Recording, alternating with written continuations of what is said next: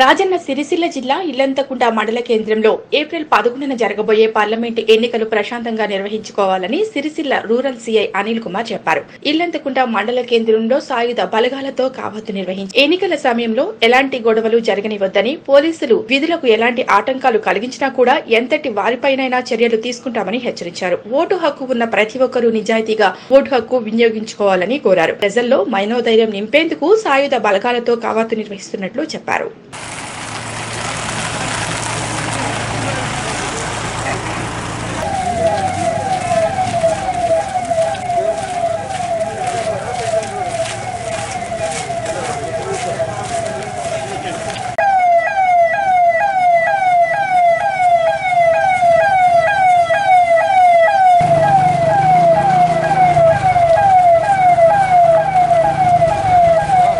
దృష్టిలో పెట్టుకొని ఇల్లంతకుంట మండలంలో ఇల్లంతకుంట ప్రాపర్లో ఈరోజు ఫ్లాగ్ మార్చ్ నిర్వహించడం జరిగింది. ఈ ఫ్లాగ్ మార్చ్కి మా సర్కిల్ ఎస్ఐలు రాజశేఖర్ చంద్రశేఖర్ శేఖర్ మరియు ముగ్గురు ప్రొబేషనరీ ఎస్ఐస్ అనిల్ సునీల్ సౌమ్య మరియు మధ్యప్రదేశ్ నుంచి వచ్చిన స్పెషల్ ఫోర్సు పార్టిసిపేట్ చేయడం జరిగింది. మేము ఈ ఈ సందర్భంగా ప్రజలకు తెలియజేసేది ఒక్కటే.